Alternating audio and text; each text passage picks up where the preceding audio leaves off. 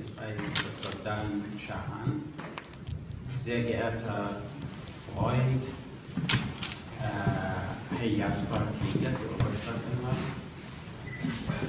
äh, sehr geehrter mein bester Freund, Herr Edwin Schucker, der Vizepräsident von äh, European Jewish Congress, mein Freund, der besonders wegen mir aus Protestant gekommen ist, Herr Harem Kamal Ara, der Führungsmitglied von äh, alle Freunde und Vertreter der jüdischen Gemeinden und Vereine aus Deutschland. Äh, vor mich heutzutage ist wirklich eine sehr große Ehre. Äh, ich sage immer, ich bin vor etwa mehr äh, als 20 Jahren nach Deutschland angekommen. Äh, habe mich versucht, äh, schnell zu integrieren, insbesondere um die Werte und Normen der Humanität in Deutschland zu lernen. Ich bin Deutschland sehr, sehr dankbar und schuldig, dass ich mich äh, schnell integriert habe.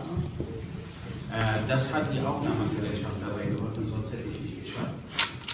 Ich, ich bin in einem Dorf in Sinjar erwachsen.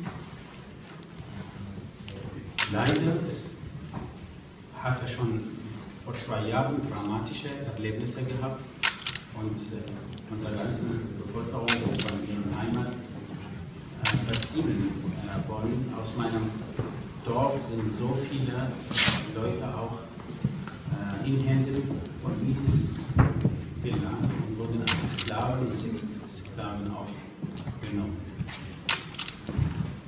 Eigentlich in meiner Gemeinde ist es eine monopole Gesellschaft. Nur Jesiden. Das ist eigentlich fast einzige äh, Gemeinde, wo nur Jesiden leben. Und das auch im ganzen Sinjar ist nicht viel. Als ich nach Mosul kam und Medizin studiert, äh, angefangen Medizin zu studieren, im ersten Jahr war ich in kompletter anderer Gesellschaft, islamischer äh, Gesellschaft begegnet. Obwohl ich in einem Dorf äh, gewachsen war. Meine erste Begegnung mit dem irakischen Regime war so, dass äh, irgendjemand einen Artikel über Sigmund Freud geschrieben hat. Und hat er im Kontext seines Artikels geschrieben, Sigmund Freud äh, wollte eigentlich die islamischen Frauen, äh, sorry, die äh, islamischen Frauen zum, zu christlicher Religion konvertieren, deswegen hat er seine Theorie. Das hat mich so geärgert, dass ich sofort einfach recherchiert habe und der Grund nur, weil Sigmund Freud ein Jude war und man hatte nur gegen seine Theorie äh, der Psychoanalyse nur einfach geschrieben hat, weil er Jude war. Und ich habe sofort einen Artikel darüber geschrieben und musste von, von der Universität zwei Wochen lang fliehen, weil die Islamisten mich töten wollten. Etwa drei Monate später musste ich von ganzem Irak verlassen, nachdem ich in Frankfurt an meiner Familie hatte, richtig äh, bezahlt. Mein Vater, der damals 65 Jahre alt war, oder zwei Jahre hier.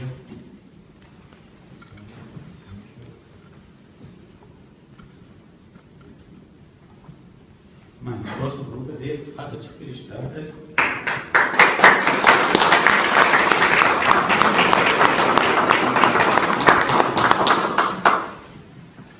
Dann war ich in Kurdistan und ich war sehr froh, dass die Jesiden zum ersten Mal ihres Lebens auch einen kulturellen Verein in Kurdistan gründen konnten, 1992. Ich war einer der Mitglieder von Lalish äh, Center.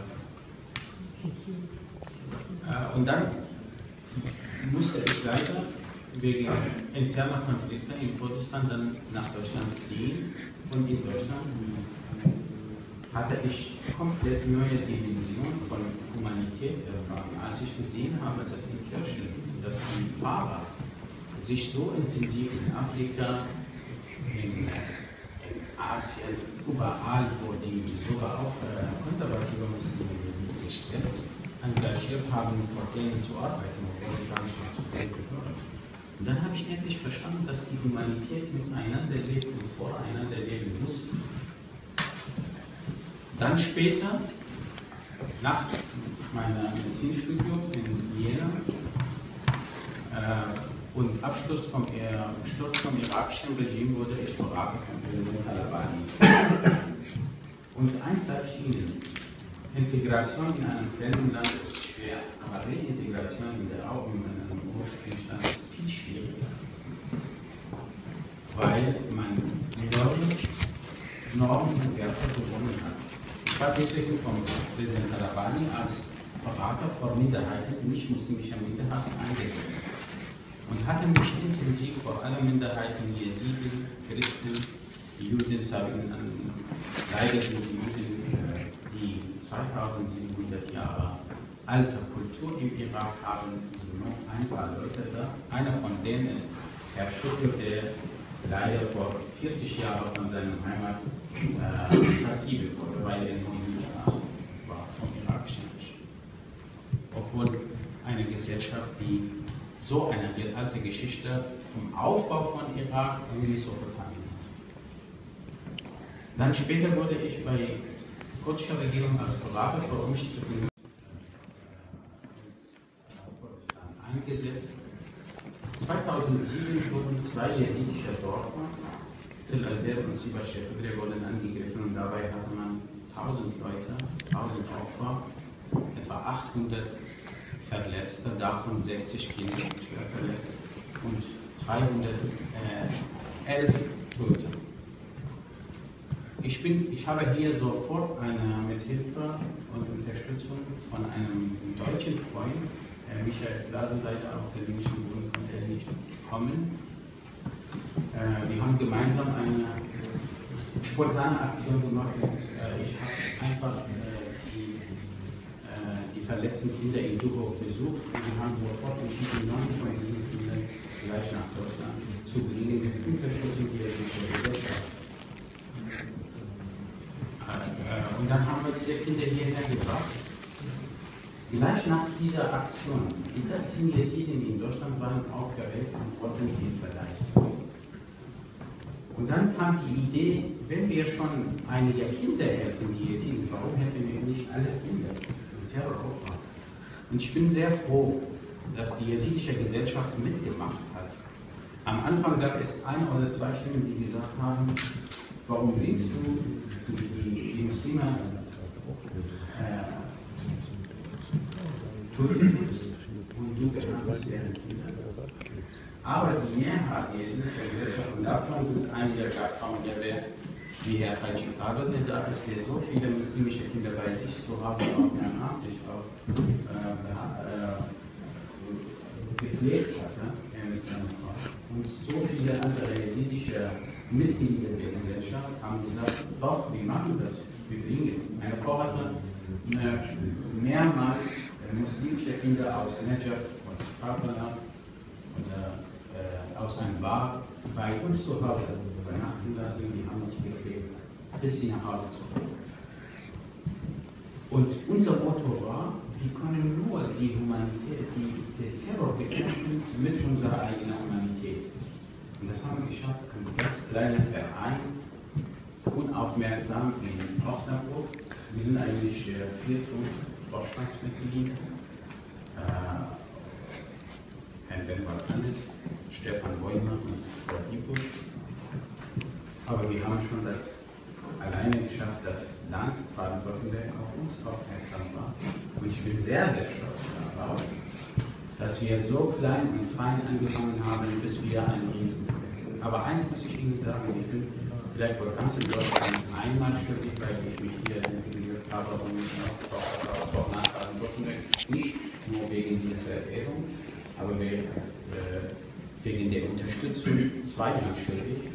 In Stuttgart war ich letztes Mal wahrscheinlich letztes Jahr 20 Mal hierher geflogen. Und ohne Unterstützung von Dr. Michael Blumer und das ganze Team hätte ich nichts geschafft. Was ich heute von Worte gehört habe. Ich, ich verdiene die nicht alleine. Ich, bin nur, ich war nur ein kleiner Teil von diesem Projekt. Das Projekt 99 Prozent war Land Baden-Württemberg und Teammitglieder und, und äh, Chef des Teams, weil sie ohne sie hätte ich nichts gemacht. Ich war ein kleiner Verein, der ist einfach versucht, mal da oder da eine kleine Hilfe zu leisten, aber nichts mehr. Deswegen bin ich Ihnen sehr, sehr schuldig. Stuttgart, ein Ministerpräsidenten, Michael Blume,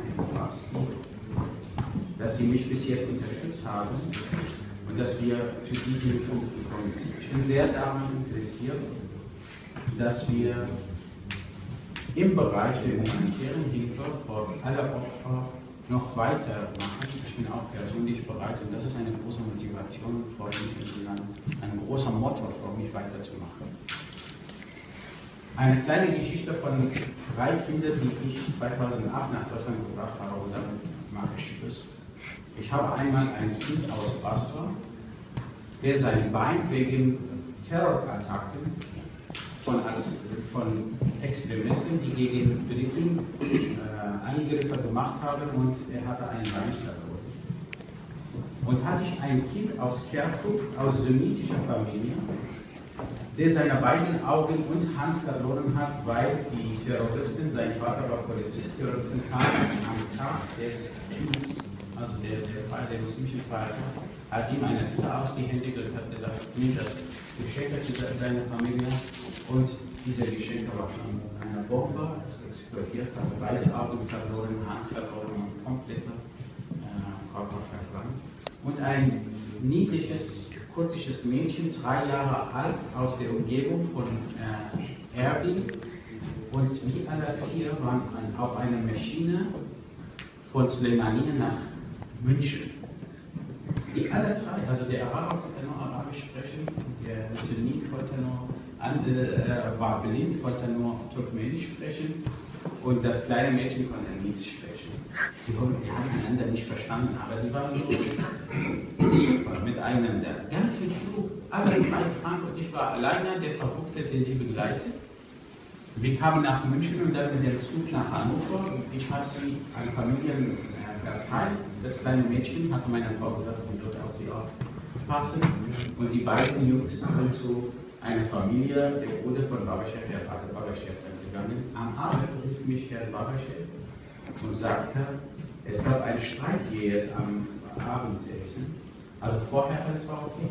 Aber als ich mit der Familie gesprochen habe, der Sunnit hatte irgendwas von seiner Familie gehört, der Schiit hatte irgendwas gehört.